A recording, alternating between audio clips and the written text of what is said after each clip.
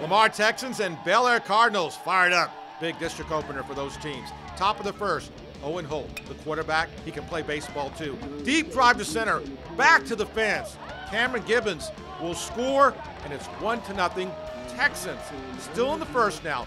Ross Selvaggi, big bouncer to short. Throw is not in time. Holt scores 2 0 Texans after one. Then the defenses take over. Hot shot to first. Holt goes up and snares him. Now, Bellaire threatening. The hit and run looks like a hit. But Lamar plays it perfectly. And then Cameron Gibbons grabs it. An easy double play.